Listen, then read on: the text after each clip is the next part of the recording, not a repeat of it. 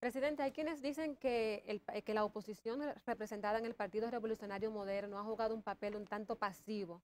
A mí me gustaría eh, que usted me diera su opinión eh, y que califique cuál ha sido el papel que ha jugado la oposición ante los principales problemas que enfrenta el país. Bueno, esa ha sido nuestra, táctica, nuestra estrategia. Hay que respetarla. De hecho, hemos sido exitosos. No, hemos sido exitosos.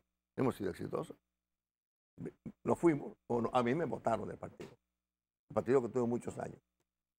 Y decían que no, que esto era un desastre. Bueno, ¿y qué? En- en- inmediatamente después de esa división sacamos 35 o 37%. Y ellos sacaron 5.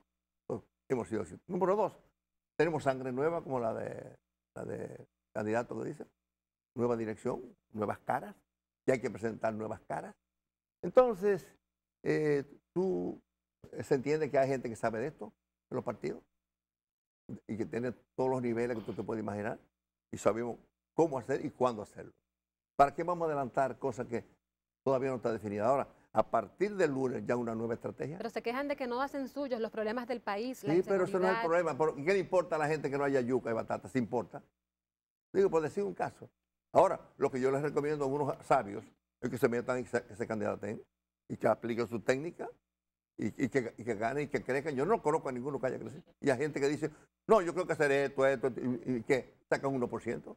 Entonces, eso es muy bonito decirlo y convertirlo en escenario de crítica y de análisis. Bueno, eso está bien, pero ¿qué saben de mucho de eso que están hablando? Presidente Mejía, algunos amigos tuyos que privan que saben, lo, lo saben todo.